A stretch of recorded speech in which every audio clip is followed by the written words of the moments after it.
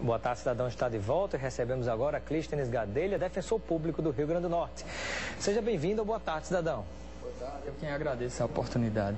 Bem-vindo ao nosso programa e gostaria que você pudesse compartilhar com o nosso telespectador o que é um divórcio, uma separação. É, hoje em dia, hum, naturalmente, não tem mais a separação. Embora as pessoas ainda falem em separação, mas só existe o divórcio, certo? Antigamente é que existia a separação e o divórcio. A separação e o antigo disquite. O antigo disquite. Certo, hoje não tem mais. E o divórcio é a quebra do vínculo matrimonial.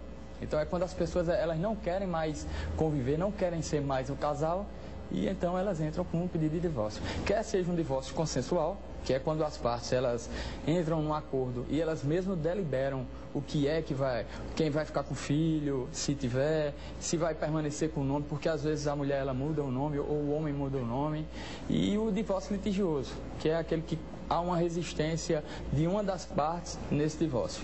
Acontece situação também que o homem muda o nome isso seria no caso de, de, casais homossexuais ou no caso com a mulher se muda o nome também? Não, não, é permitido para todos, assim. Não tem, ah, é? É, porque assim, não, não existe essa... Tanto, tanto que... a mulher pode, como é mais comum, ficar com o sobrenome do homem, Isso. como o homem ficar com o sobrenome da, da mulher, mulher, também? Pois essa eu não sabia. Mas é um caso bastante incomum, assim. É. Eu, particularmente, nunca vi um homem é, agregar o nome da o mulher. O nome da mulher. O mais comum, até mesmo por uma praxe histórica, né? É.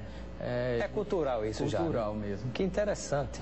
E, e, com relação a separ, na hora dessa separação, na hora do divórcio, né, o que, como é que se define em relação a bens, o que é que fica com cada um, e em relação à guarda dos filhos? É, com relação aos bens, vai ser definido de acordo com o regime de comunhão de bens que tenham adotado, certo? O regime, porque existe o regime de comunhão parcial de bens, que é aquele que que o casal ele que vai ser dividido entre eles aquilo que eles adquiriram na constância desse casamento, o de separação total de bens, né?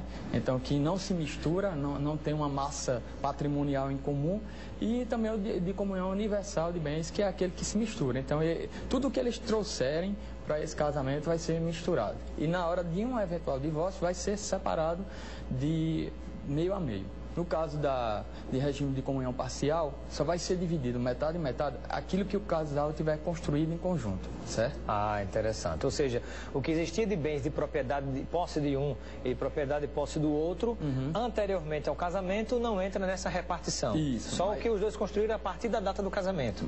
Isso. Agora, isso é no regime de comunhão parcial de bens. Comunhão parcial é, de bens. Que, na verdade, quando as partes... No regime universal, divide tudo.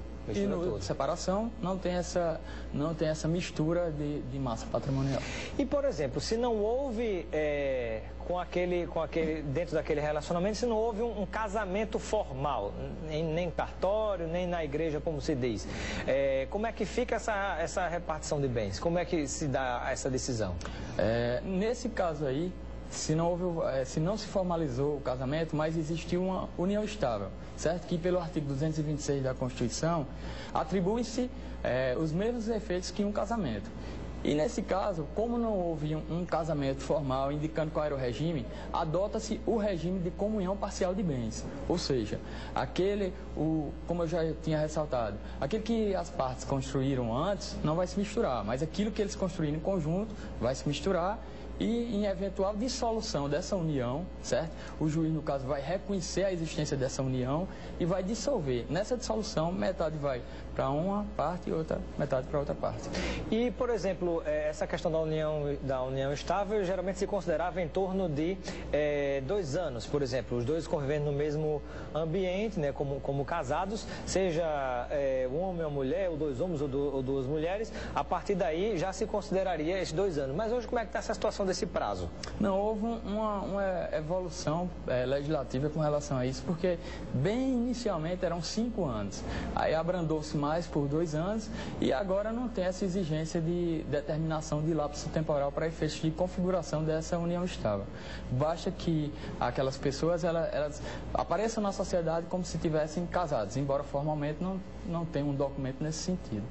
Doutor Clístenes, e com relação à aquela história que a gente falou no início, né, gerou já especulação, né? E a história da situação das, das amantes ou dos amantes, tem direito a alguma coisa? Não tem? Como é que fica essa história na hora de repartição? Seja é, no momento em que se quebra uma relação ou não, ou em caso até de falecimento também é, da pessoa que era o possuidor dos bens?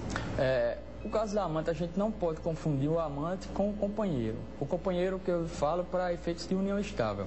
Por quê? Para ser reconhecida uma união estável, é, a parte, assim, quem está vivendo essa união estável, ela não pode ter impedimento para casamento né, é, dentro dessa relação. E nesse caso, não. O amante, você presume que existe um casamento e nesse caso o amante não vai ter direito, não. Dá tempo de uma rápida pergunta que chegou, produção? Não? Rapidinho, bem rapidinho. Pergunta aqui da Paula de Natal. Não tenho filho, sou separada há 16 anos e morava em uma casa do meu cunhado. Abandonei a casa e eu é, perguntei, eu tenho direito no divórcio a esta casa, que não é do meu ex-marido? Não, porque assim, não é do ex-marido, era do cunhado. Como ela ressaltou aí, é do próprio cunhado. Então, não há como assegurar-lhe um direito que, que ela não tem, que ele não tinha. O tempo realmente esgotou. Muito obrigado, Clístenes, pela sua participação no Boa Tarde, Cidadão. Tá, obrigado. Continue ligado na Band Natal com os donos da bola. Um grande abraço e até amanhã.